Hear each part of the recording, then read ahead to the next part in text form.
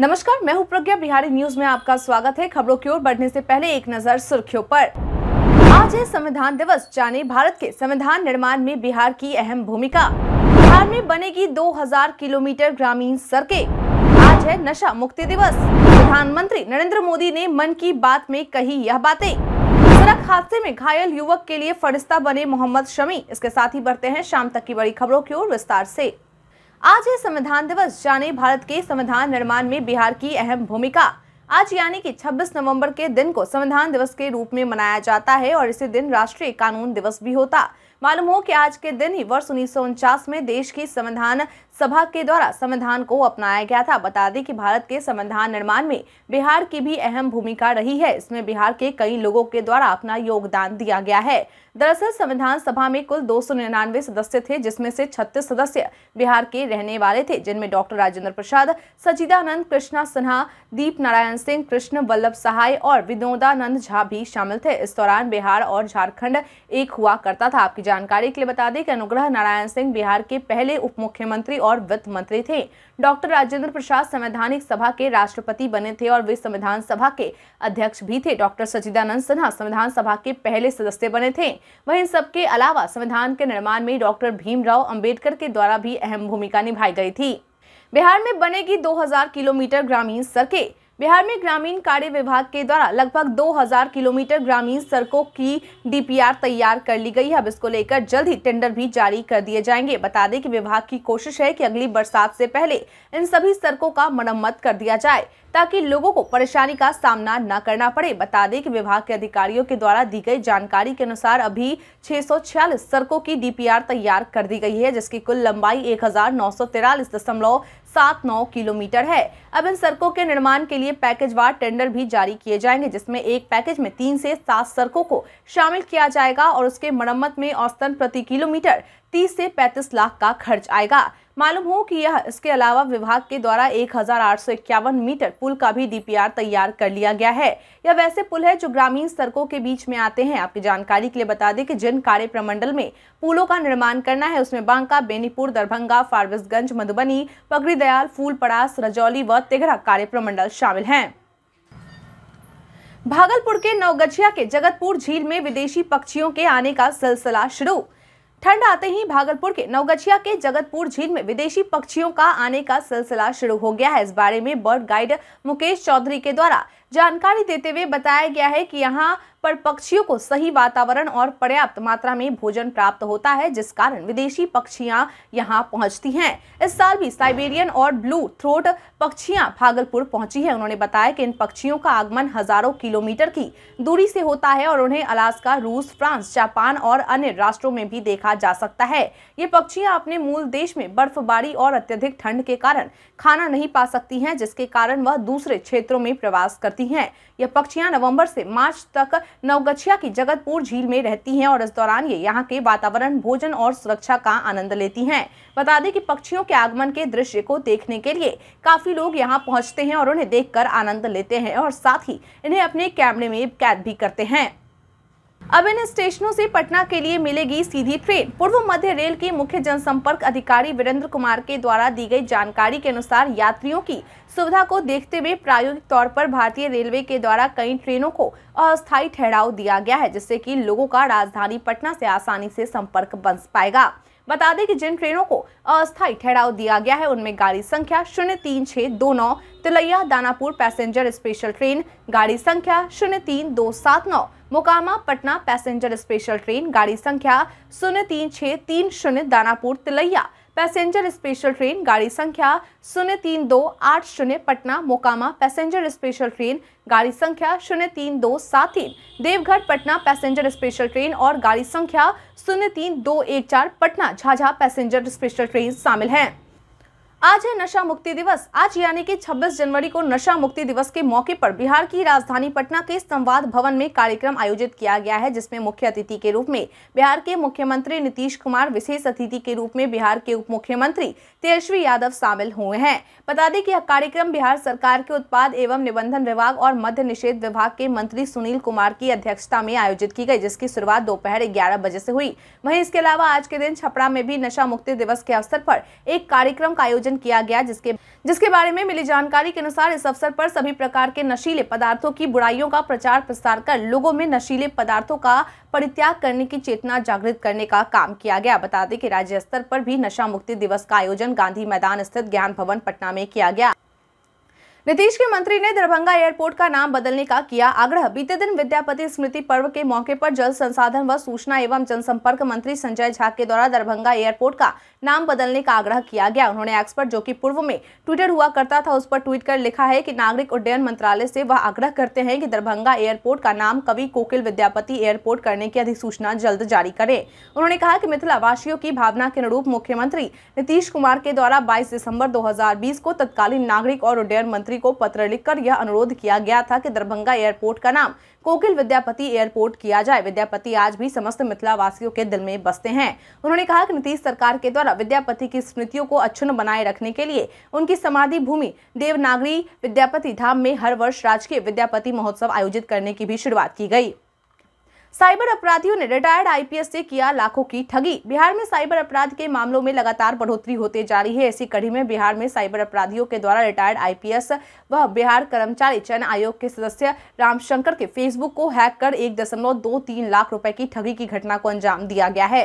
इस संबंध में रिटायर्ड आईएएस के द्वारा साइबर थाने में केस दर्ज कर दिया गया है। उन्होंने बताया कि उन्हें उनके एक रिश्तेदार रिटायर्ड आईपीएस उदय शंकर के आईडी से मैसेंजर कॉल आया था। फ़ोन करने वाले ने अपना नाम संतोष संतोष कुमार बताया और कहा कि वह आर्मी में है, उसका स्थानांतरण किसी अन्य राज्य में हो गया है।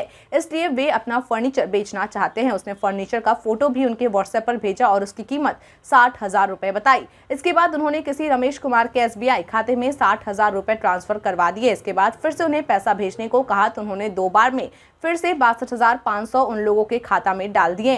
लेकिन जब फिर से उनसे इक्यावन हज़ार की मांग की गई तो उन्हें शक हुआ और अपने रिश्तेदार उदय शंकर से फ़ोन पर बात की। इसके बाद सारी कहानी आ गई। फ़िलहाल इस मामले की जाँच पड़ताल जारी बीपीएससी शिक्षक भर्ती से निजी स्कूलों में कई विषयों के पद खाली। Online affiliated school information system पर 2024 की बोर्ड परीक्षाओं को लेकर शिक्षकों के मांगे गए रिकॉर्ड से यह जानकारी निकलकर सामने आई है कि सीबीएसई स्कूलों में विषयवार परीक्षक नहीं मिल रहे हैं। बता दें कि बीपीएससी शिक्षक नियुक्ति के तहत राज्य के कई जिलों में सीबीएसई एफिलिएटेड स्कूलों को छोड़कर कई शिक्षक चले गए हैं। ऐसे में बोर्ड के द्वारा सभी जिलों को तीस नवंबर तक खाली पदों पर नियुक्ति कर नाम भेजने का आदेश दिया गया ऐसा नहीं करने वाले स्कूल जाँच के घेरे में होंगे। Indian association of private school के अध्यक्ष सुमन कुमार के द्वारा कहा गया कि इससे भी बड़ी दिक्कत अगले चरण की बहाली के बाद होगी, क्योंकि उसमें छह से आठ के लिए नियुक्ति हो रही है। सीबीएसई के नियम के अनुसार निर्धारित योग्यता वाले अभ्यर्थियों की ही नियुक्ति करनी है। ऐसे में सभी खोज में लगे हुए हैं। मालूम हो की तकरीबन यह स्थिति राज्य के हर ज़िले में बनी हुई है। आज है नेशनल मिल्क डे। भारत पहले स्थान पर केरल में जन्मे डॉक्टर वर्गीज कुरियन के योगदान को सम्मान देने के लिए हर साल 26 नवंबर को उनके जन्मदिन को राष्ट्रीय दुग्ध दिवस मनाया जाता है। बता दें डॉक्टर वर्गीज कुरियन के बदौलत ही भारत आज दुग्ध उत्पादन में दुनिया में टॉप है। मालूम हो कि डॉक्टर वर्गीज कुरियन के द्वारा त्रिभुवन दास पटेल और किसानों के साथ मिलकर Kaira district cooperative milk producers union limited नामक सहकारी संगठन का पंजीयन कराया गया, जिसका नाम बाद में बदलकर अमूल किया गया इस अमूल ने भारत को दूध की कीमत वाले देश से विश्व का सबसे बड़ा दूध उत्पादक देश की श्रेणी में लाकर खड़ा कर दिया। बता दें कि इस योगदान के लिए उन्हें भारत सहित कई देशों के द्वारा पुरस्कार देकर सम्मानित भी किया गया है। डॉक्टर वर्गस कुरियन भारत ही नहीं, बल्कि दुनिया में श्वेत क्रांति के जनक या ऑपरेशन फ्लड के नायक के रूप में जाने जाते हैं। मालूम हो कि 22 राज्यों के इंडियन डेयरी एसोसिएशन के द्वारा वर्ष 2014 में पहली बार राष्ट्रीय दुग्ध दिवस मनाने की पहल की गई थी और यह दिन भारत में इसलिए मनाया जाता है क्योंकि हर साल लाखों लोग खराब पोषण के कारण मर जाते हैं। इसलिए दुग्ध दिवस स्वास्थ्य समस्याओं से निपटने के लिए दूध के सेवन के महत्व पर ज़ोर देता है। बता दें कि इस दिन बच्चों और वयस्कों को बेहतर स्वास्थ्य के लिए दूध का सेवन बढ़ाने के लिए प्रोत्साहित किया जाता है। उपेंद्र कुशवाहा के घर पहुँचे नित्यानंद राय। एक तरफ़ जहाँ राजनीतिक गलियारों में ऐसी चर्चा चल रही है कि आरएलजेडी का जेडीयू में विलय हो सकता है तो वहीं दूसरी ओर आज सुबह आरएलजेडी अध्यक्ष उपेंद्र कुशवाहा के आवास पर केंद्रीय गृह राज्य मंत्री नित्यानंद राय पहुँचे। इस बात की जानकारी खुद उपेंद्र कुशवाहा के द्वारा अपने एक्स अकाउंट पर, जो की पूर्व में ट्विटर हुआ करता था, उस पर मुलाकात की एक तस्वीर शेयर कर की गई है। उन्होंने तस्वीर शेयर कर लिखा है की आज सुबह सुबह मेरे पटना आवास पर केंद्रीय गृह राज्य मंत्री एवं भारतीय जनता पार्टी के वरिष्ठ नेता श्री नित्यानंद राय जी के साथ चाय पर खूब गपसप हुआ। मालूम हो कि पिछले कुछ समय से यह चर्चा चल रही है कि एक बार फिर से उपेंद्र कुशवाहा जदयू में वापसी कर सकते हैं। हालाँकि उपेंद्र कुशवाहा की ओर से इस बात को अफवाह बताकर स्पष्ट रूप से मना कर दिया गया है। बता दें कि इस मुलाकात में दोनों नेताओं के बीच काफ़ी देर तक बातचीत हुई। संविधान दिवस पर जदयू की भीम संसद जारी। आज संविधान दिवस के अवसर पर बिहार के मुख्यमंत्री नीतीश कुमार की पार्टी जदयू के द्वारा बिहार की राजधानी पटना के वेटरनरी कॉलेज में भीम संसद का आयोजन किया गया है, जो कि फ़िलहाल जारी है और इस कार्यक्रम में बिहार के मुख्यमंत्री नीतीश कुमार समेत नीतीश कैबिनेट के कई गणमान्य मंत्री मौजूद रहे। बता दें कि पार्टी के बैनर पोस्टर से इस आयोजन का मकसद स्पष्ट है, जिसमें लिखा गया है कि आरक्षण एवं दलित विरोधी चेहरे को बेनकाब करने के लिए भीम संसद एवं सम्मान समारोह का आयोजन किया गया। बता दें कि आयोजन दलित समाज से आने वाले अशोक चौधरी की देखरेख में किया गया है। उनका कहना है कि पहली बार दलित और महादलित समुदाय के लिए ऐसा आयोजन किया जा रहा है, जिसमें बताया जाएगा कि क्यों यह समाज इतना पीछे रह गया। सुशील मोदी ने नीतीश कुमार के मानसिक हालत पर दिया बयान। बिहार के पूर्व उप मुख्यमंत्री और राज्यसभा सांसद सुशील कुमार मोदी के द्वारा एक बार फिर से बिहार के मुख्यमंत्री नीतीश कुमार पर हमला बोला गया है। उन्होंने कहा कि 15 साल का कुशासन खत्म कर 18 साल पहले 25 नवंबर के दिन ही भाजपा के सहयोग से नीतीश कुमार की सरकार बनी थी, लेकिन उन्होंने दो बार पलटी मारकर राज्य को फिर से उसी गर्त में पहुँचा दिया है, जहाँ से निकलकर बिहार विकास और सुशासन के राजपथ पर आया था। उन्होंने कहा कि नीतीश कुमार अपनी अंतिम पारी खेल रहे हैं और तेजस्वी यादव को उत्तराधिकारी घोषित करने के बाद से उनका मानसिक स्वास्थ्य भी ठीक नहीं चल रहा। 2005 में एनडीए सरकार बनने के बाद आठ साल तक बहुत अच्छी तरह काम हुआ। राज्य भर में सड़क सेतु बनने लगे। नए नए कॉलेज, विश्वविद्यालय खुला और सत्तर हज़ार से ज़्यादा अपराधियों की गिरफ्तारी के साथ मंगल राज स्थापित हुआ था। मुख्यमंत्री जब कुछ देर के लिए मानसिक दबाव से बाहर रहते हैं, तब स्वयं लोगों से कहते हैं, याद कीजिए, पहले बिहार में क्या होता था? सड़कों में गड्ढे थे, बिजली नहीं आती थी अपहरण रूटीन क्राइम हो गया था, सब काम हम ही ने किए। उन्होंने कहा कि जब तक नीतीश कुमार भाजपा के साथ रहे, तब तक वे सुशासन बाबू रहे और बिहारी होना गौरव की बात हो गई। सड़क हादसे में घायल युवक के लिए फरिश्ता बने मोहम्मद शमी। भारत के तेज गेंदबाज मोहम्मद शमी के द्वारा एक वीडियो शेयर की गई है और लिखा गया है कि वह बहुत भाग्यशाली हैं कि भगवान ने उसे दूसरा जीवन दिया है। दरअसल नैनीताल घूमने के दौरान मोहम्मद समी के द्वारा एक सड़क दुर्घटना में घायल एक शख्स की मदद करने का वीडियो शेयर किया गया। इस वीडियो में देखा जा सकता है कि मोहम्मद समी उस व्यक्ति की मदद कर रहे हैं जिसकी कार सड़क से नीचे गिर गई थी। शमी ने इस वीडियो को शेयर कर लिखा है कि वह बहुत भाग्यशाली है कि भगवान ने उसे दूसरा जीवन दिया। उनकी कार मेरी कार के ठीक सामने नैनीताल के पास पहाड़ी सड़क से नीचे गिर गई। हमने उसे बहुत सुरक्षित रूप से बाहर निकाला। आपकी जानकारी के लिए बता दें कि मोहम्मद समी वर्ल्ड कप 2023 में सबसे ज़्यादा विकेट लेने वाले गेंदबाज बने हैं। उन्होंने केवल सात मैच में चौबीस विकेट लिया। हालाँकि बांग्लादेश के खिलाफ ऑलराउंडर हार्दिक पांड्या के चोटिल होने के बाद समी को टीम में जगह मिली थी। बता दें कि फ़िलहाल मोहम्मद समी उत्तराखंड में छुट्टी पर हैं। प्रधानमंत्री नरेंद्र मोदी ने मन की बात में कही यह बातें। आज यानी कि रविवार को प्रधानमंत्री नरेंद्र मोदी के मन की बात कार्यक्रम का 107वां एपिसोड रहा, जिसकी शुरुआत सुबह 11 बजे से हुई।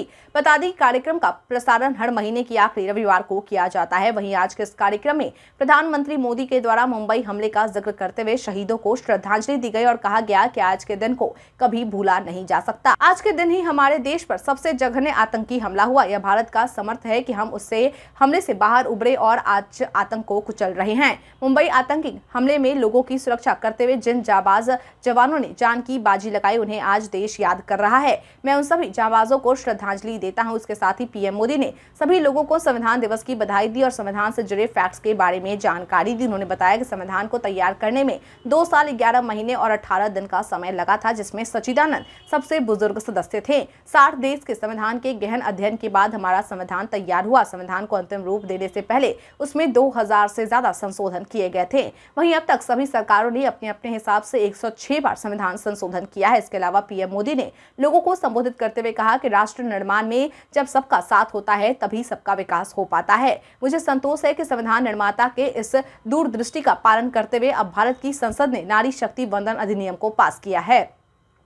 जानिए, आज बिहार में क्या है पेट्रोल डीजल के रेट? बिहार में आज यानी रविवार को पेट्रोल डीजल के रेट जारी किए गए, इसके बाद राजधानी पटना में आज पेट्रोल एक सौ सात दशमलव चार और डीजल चौरानवे दशमलव तीन दो रुपए प्रति लीटर में मिल रहा है। मुजफ्फरपुर में पेट्रोल एक सौ आठ दो दो और डीजल चौरानवे दशमलव नौ चार रुपए प्रति लीटर मिल रहा। वहीं पूर्णिया में पेट्रोल की कीमत एक सौ आठ दशमलव सात आठ और डीजल पंचानवे दशमलव चार पाँच रुपए प्रति लीटर है। भागलपुर में पेट्रोल की कीमत एक सौ आठ दशमलव दो और डीजल की कीमत चौरानवे दशमलव सात पाँच रुपए प्रति लीटर निर्धारित की गई है। इसके साथ ही गया में पेट्रोल की कीमत एक सौ आठ दशमलव दो रुपए और डीजल कीमत चौरानवे दशमलव शून्य नौ पाँच रुपए प्रति लीटर है। बता दें कि बिहार में पेट्रोल का रेट सबसे ज़्यादा किशनगंज में है, जहाँ पेट्रोल एक सौ नौ दशमलव सात तीन रुपए प्रति लीटर और डीजल छियानवे दशमलव तीन चार रुपए प्रति लीटर की दर से मिल रहा है।